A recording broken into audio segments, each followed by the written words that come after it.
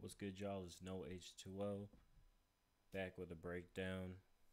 Um, gonna be breaking down a sample off my latest kit, Codex Music Library One Shots Volume One. It's kind of like a toolkit, multi-kit uh, kind of deal. I got like a hundred plus one shots, you know, a couple dozen perc loops, a couple presets for RC20, and um, yeah, 10 original compositions that I made to go along with it. I know you can cop the bundle and get both.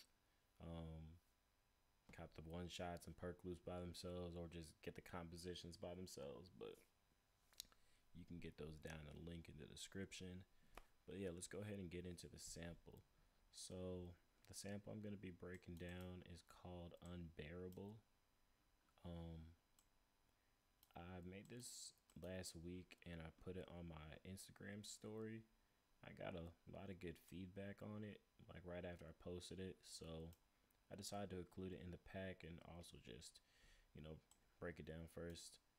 Um, so you know, I'm gonna play a snippet of it real quick and uh, we'll move from there.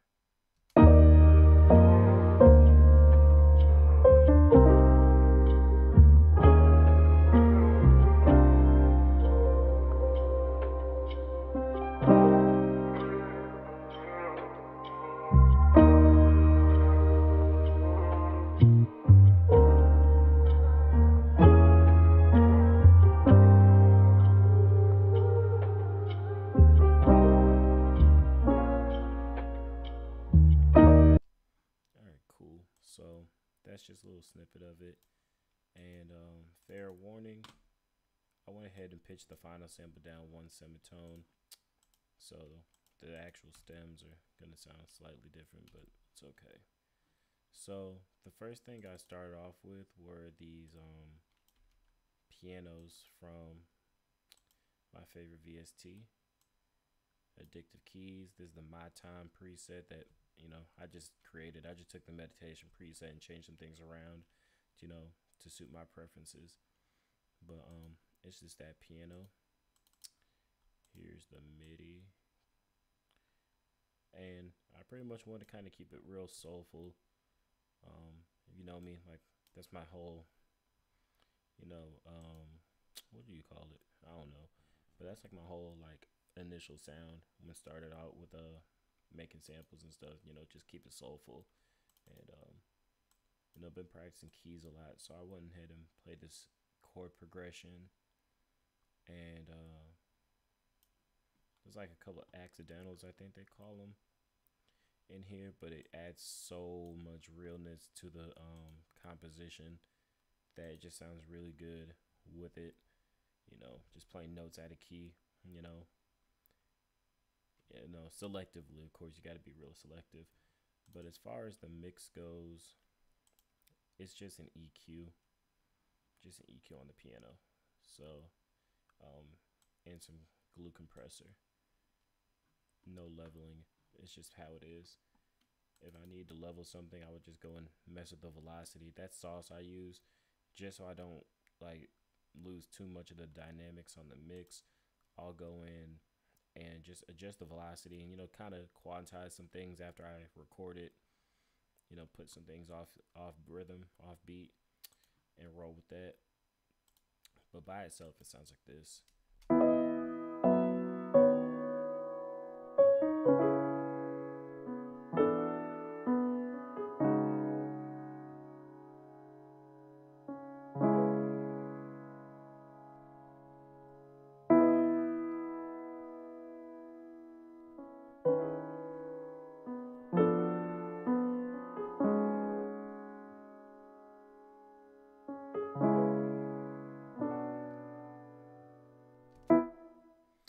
So that's the piano section.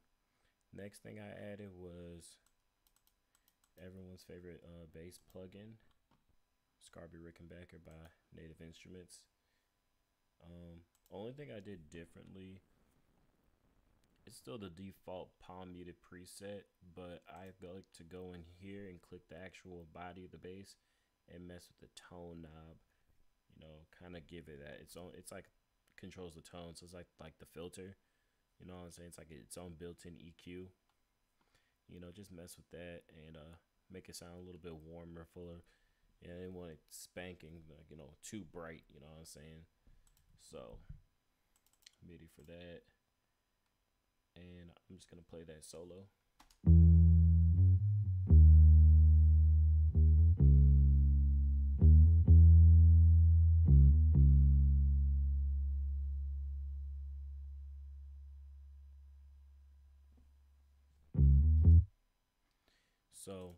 Far as the mix goes for that, um, I'm running it through the Neo Soul preset from Stark. Um, it's like a guitar amp pedal, um, VST. Mess with the EQ a little bit on it, but this is the preset Neo Soul, and I'm just running this uh eight band EQ on here, cutting some of the lows, make it sound more old and just getting at the frequencies of it that I wasn't really a fan of. Alright, so the next thing I added was these one shots from my kit. This one's called Stop Sign. It's really, really cool. So it's like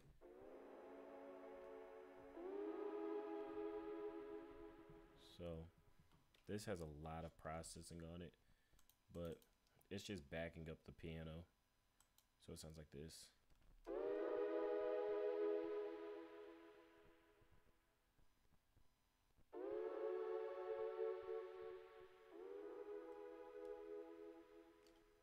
So um on the mix, just the same thing I always use, just 8 band stock EQ you know, kind of just bumping down that mid. I don't think it's doing anything, honestly. Um, next two things I added were there's a noise suppressor from Waves. Shout out to Prod by Ty. He um, put me onto this plugin a while ago. And a little delay. I add delay to a lot of things to kind of space things out in the mix and just give it more texture.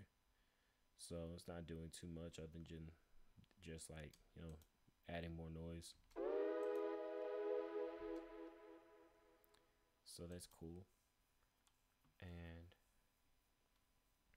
leveled that a little bit. Just took it down a couple decibels so it can sit in the mix well. But I'll play that with you. Um, excuse me. I'll play that with the piano and bass so you can see how it sounds so far.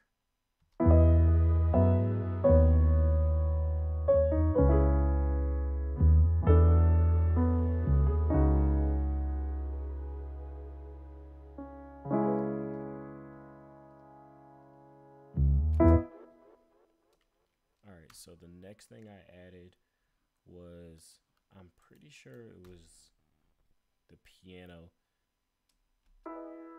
So I ran this through my blooper pedal, um, the piano part, and I kind of just wanted to use it as like a texture. I'm pretty sure I did the same thing down here. So I'll start with this first one. So I just ran it through the blooper. Um,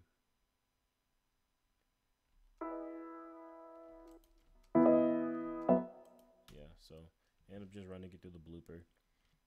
Um, record it back in. It has this uh, stability knob on it, which is like I call it like mini RC20, and just uh, added some uh, texture to it. I also use this uh, thing called like the stretcher. I think. I think it's like a modifier on here called the stretcher, and it just adds some, you know, stretches to it, and then I'll load it back in there. It's gonna come out longer but it's gonna have those extra bits and textures in it. And I'll just you know time stretch it back to what I need to be. And that sounds like this.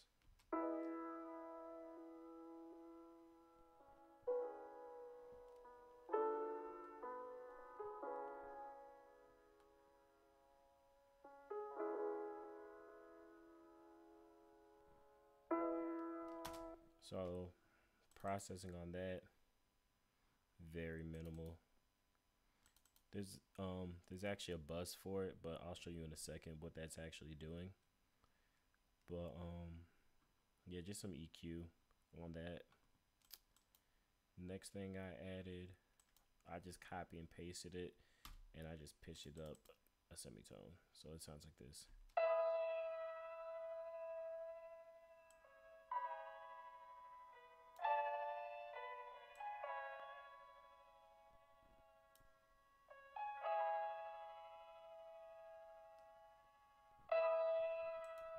So in context with the actual piano part, it sounds really cool. So I'll play it.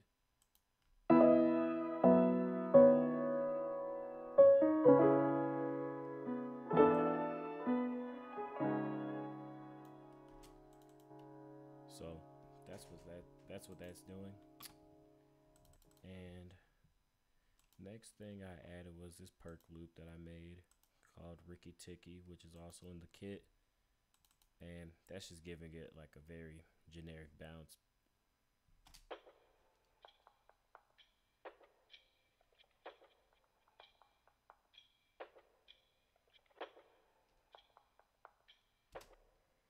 And it just, you know, kind of moves the sample along and pushes it forward.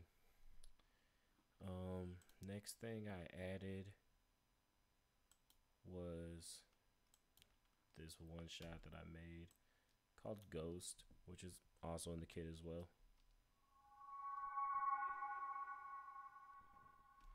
Just a transitionary tool, and you already know I'm using Valhalla delay and I'm running Valhalla plate, and kind of just you know moves the sample along.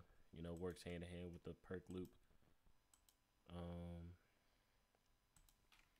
delete that, but I don't need that track. And as far as textures, that's what we got nothing really changes second half. But um later on I did add these guitars. I kind of just played it straight. And I'll show you what that sounds like dry. And I recorded this from my um with my uh Fender, my Fender Strat uh Squier, I think. Yeah, Squier. So straight it sounds like this.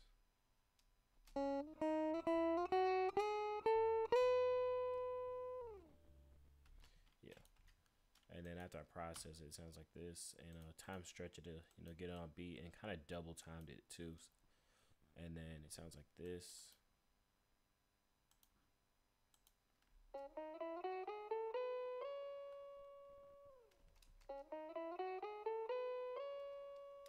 And as far as effects, I'm running Echo Boy. And I have a preset chain for my guitar. And that's just NS1, Tal Chorus, and Stark. Mm. And I'm also got a filter on here cutting, cutting out some of the highs. But with the effects, it sounds like this.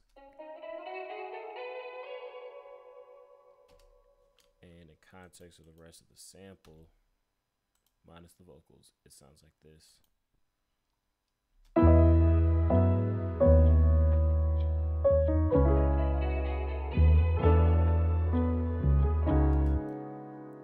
Like I said, it just serves as a as a device to push everything along. And the last thing I got going on in this sample is these vocals. So I've been experimenting with vocals lately, just trying to use it as a tool to uh get more vibes, get more, you know, set a mood with the samples and stuff like that. So on this one, I'm probably just, you know, spewing some nonsense on here and through auto tune. But um I'm gonna play you what the vocals sound like by themselves.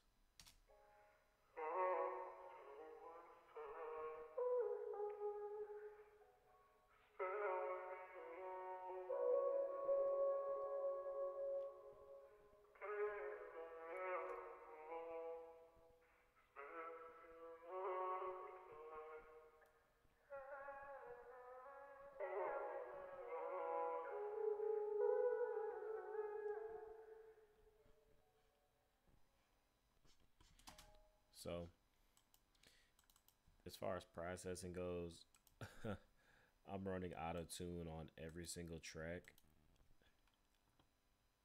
I've been uh, stacking my my harmonies just to get make it more full, but I'm also putting them in mono as well, and I'm using mono and then putting a reverb on it, and it's actually kind of contradictory because it's in mono, but there's reverb on it now, which isn't in mono.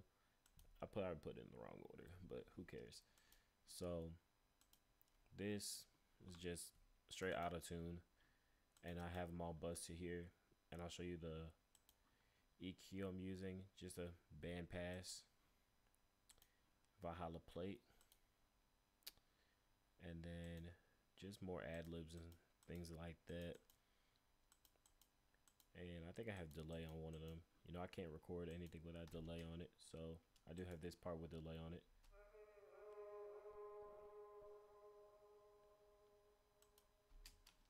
So yeah, it has that. It has a really nice texture to it. Kind of makes it feel really full. Uh, this vocal bus with the ooze.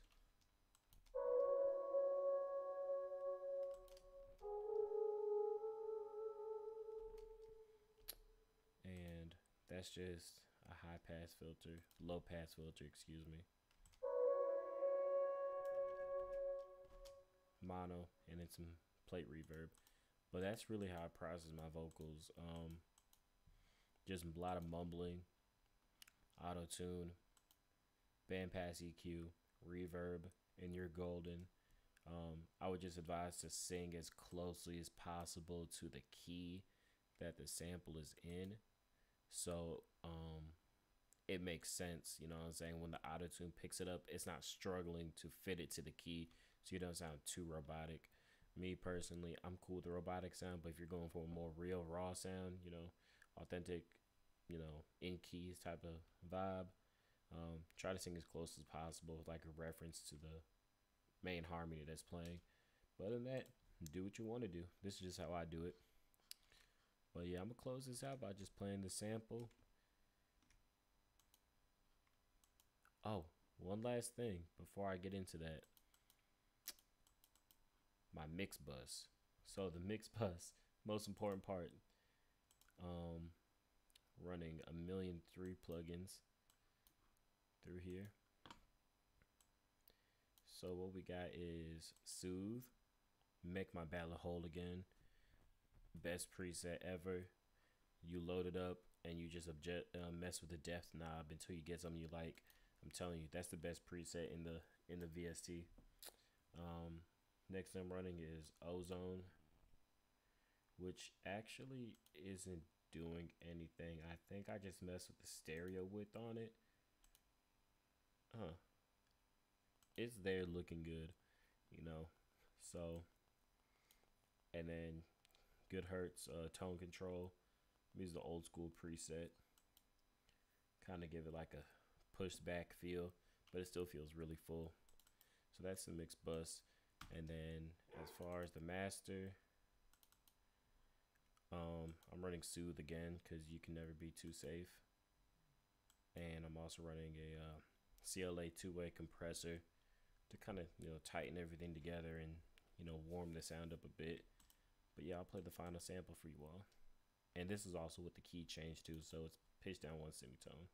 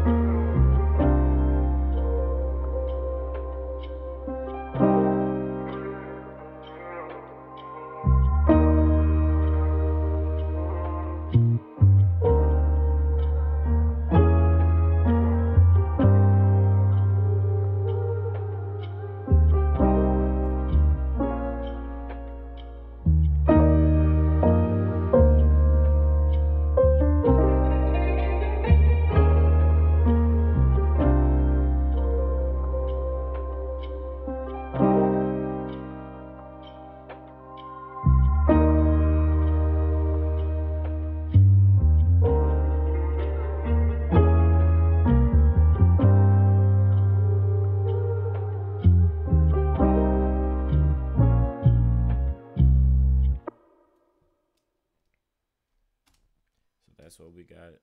Um, if y'all want me to do more breakdowns, just drop a comment below. You know, let me know what you want to see. If you want to hear another sample broken down from any of my packs, you know, drop in the comments. I will be doing this on a more regular basis. Um, and yeah, stay tuned for more packs, beat tapes, and more projects that I got coming out with the homies. Uh, you can follow me on Instagram at noh2o underscore.